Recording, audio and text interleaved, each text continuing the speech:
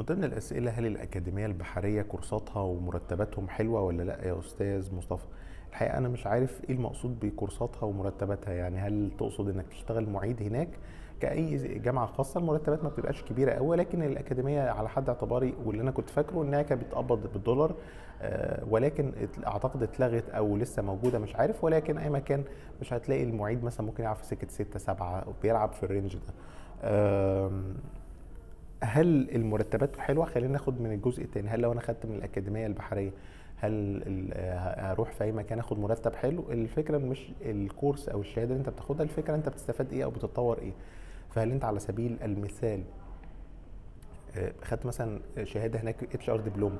وبعدين آه، رحت مكان طالب HR دبلومة فالمرتب زاد بتاعك. فده بيرجع لل HR دبلومة؟ لا بيرجع لل HR دبلومة اللي انت خدتها وبيرجع لخبرتك وبيرجع لإنك عديت ال interview بيطلع مهاراتك.